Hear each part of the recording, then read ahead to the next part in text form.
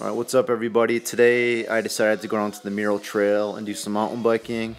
Um, this is in Rockford, Michigan. This is probably the best trail in West Michigan and most popular. There's always people here.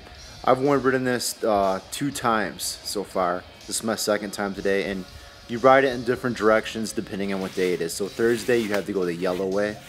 Um, otherwise you have to do the red way. Um, and this is just part of Phaser right here. It's like a wooden berm thing, and I'm just doing my best to kind of show what it is.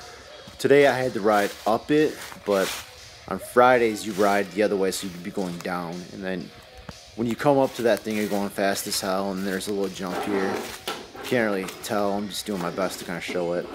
Um, the first time I rode it, um, going down, I kind of botched it, so I'm looking forward to coming back here and spending more time especially once I save up and get a new bike.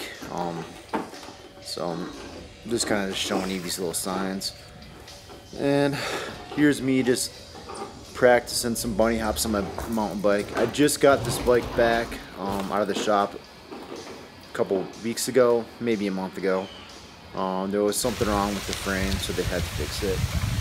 And basically what happened today was I started my ride on my Apple Watch and I ended it on my Apple Watch, but I like set my wrist down too fast and my ride didn't finish saving and I lost it completely on Strava.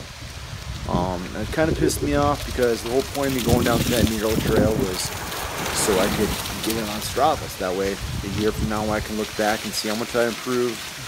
And um, I didn't save, it, so I'm kind of pissed off about that. I will be making a video bitching about that.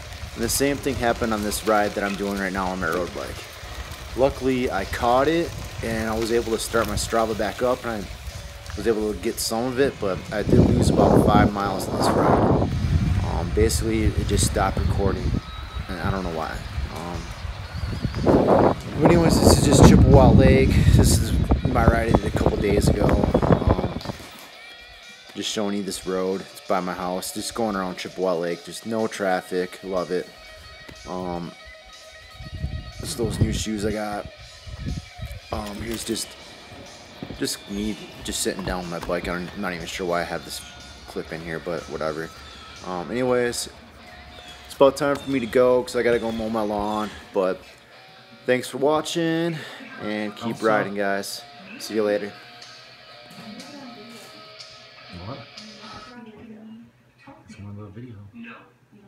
No.